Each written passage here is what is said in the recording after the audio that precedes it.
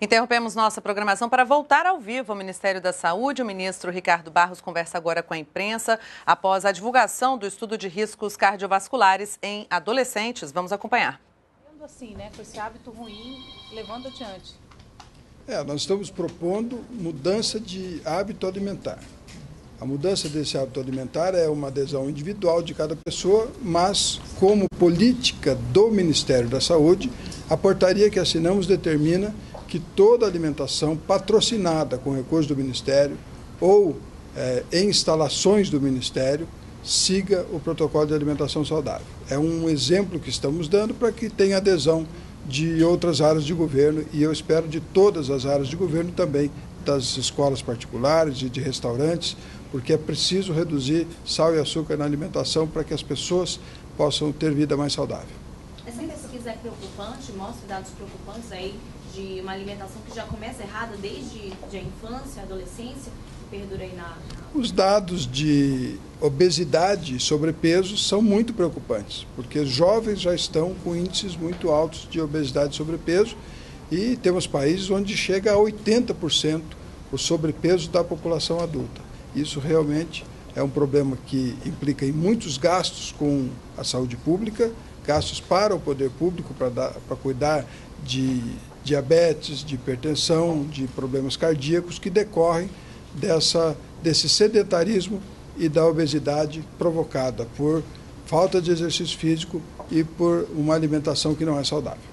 Ministro falou dessa portaria, é uma ação interna aqui do Ministério que o senhor pretende ampliar em outros estados e em outros órgãos também, mas de imediato para as famílias, o que, que o Ministério prepara e pensa? É, de propaganda? O guia de alimentação saudável está disponível, nós temos atuado em, vamos dizer, em monitorar publicidade né, de, de alimentos que afetem as pessoas, mas é uma ação, eu diria que é o início de uma determinação para que a alimentação saudável faça parte do comportamento das pessoas ligadas à nossa pasta.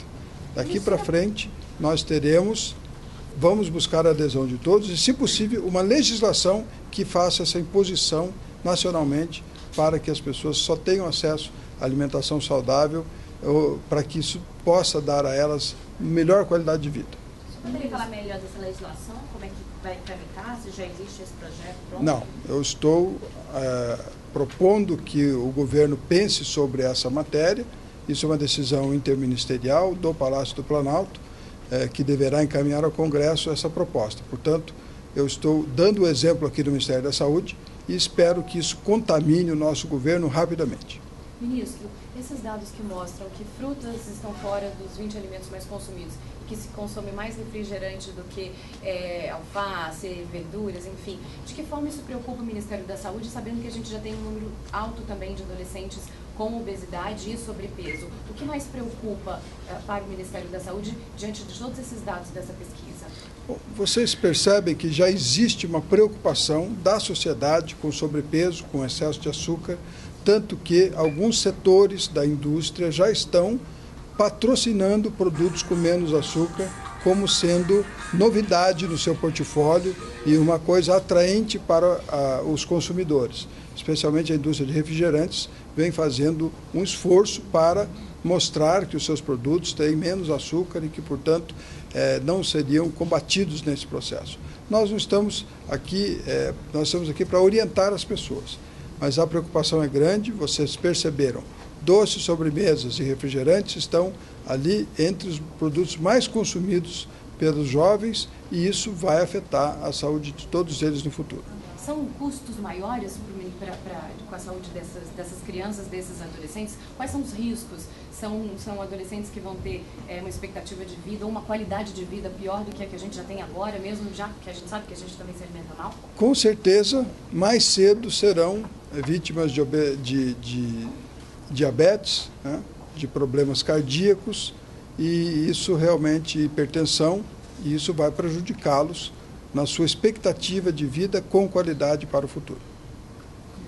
O senhor é favorável, ministro, a uma mudança nas regras de propaganda para alimentos ricos em sódio, açúcar e também para álcool? Eu sou favorável a uma regulamentação onde a publicidade induza as pessoas a bons hábitos alimentares. Eu acho que isso é muito bom para o Brasil. Ou seja, isso implica uma proibição, talvez, de, de algumas propagandas, então?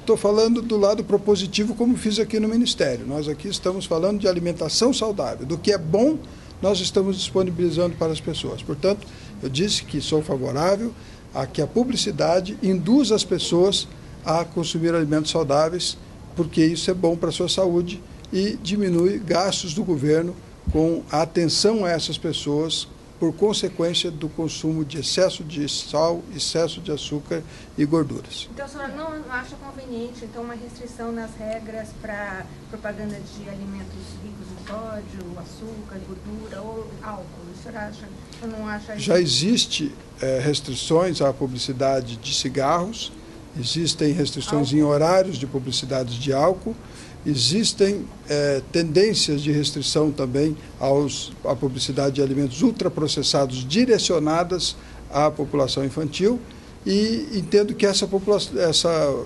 legislação pode ser aprimorada. Como? Nós temos um grande desafio e esse desafio ele dependerá da iniciativa do governo como um todo e também da iniciativa privada. Ninguém pediu para as indústrias de refrigerante reduzirem o açúcar nos seus produtos. Eles perceberam que o mercado estava pedindo isso e passaram a oferecer esse produto como uma vantagem para o consumidor. Então, eu acho que isso é um comportamento da sociedade. Nós, enquanto pudermos trabalhar por adesão, faremos isso. E eu, então, faço um apelo aqui, de novo, aos nossos eh, cidadãos que consumam menos sal, menos açúcar, né, que cuidem da sua saúde, façam exercícios físicos e aos nossos empresários e ao setor produtivo que procurem é, produzir alimentos saudáveis, produzir é, é, as, produtos que ajudem as pessoas a manter a sua atividade física e, em especial, que possam ganhar dinheiro fazendo bem às pessoas. Obrigado. Essas propostas essa foi a declaração do ministro da Saúde, Ricardo Barros, falando com a imprensa após a divulgação do estudo de riscos cardiovasculares em adolescentes com foco no hábito alimentar de meninos e meninas de 12 a 17 anos. Na entrevista coletiva também foram apresentados dados inéditos do Vigitel, um levantamento telefônico de fatores de risco e proteção para doenças crônicas, já com enfoque nos adultos brasileiros. Nós podemos voltar a qualquer momento com outras informações. Continue com a gente, NBR, a TV do Governo Federal. Thank you.